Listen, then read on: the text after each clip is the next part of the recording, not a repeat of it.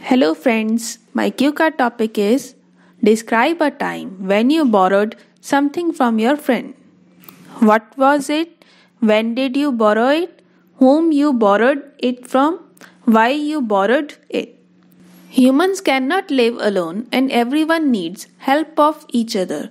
We have to borrow things when we cannot buy it immediately.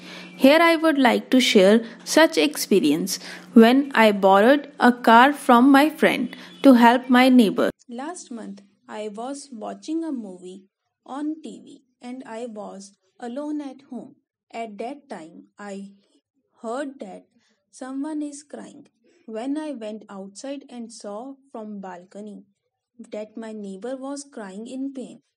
He is very old and weak.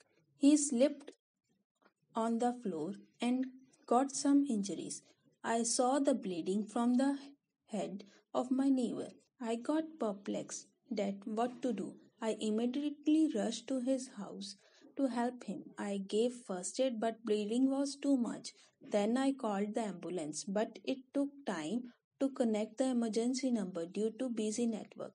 I wanted to take him to hospital but I had no car. I called my friend who lives in next street and told him about that situation and he immediately came and lent me his car. I took my neighbor to the hospital and got him admitted in hospital. Doctors appreciated me that i bought him in time and he had had injury.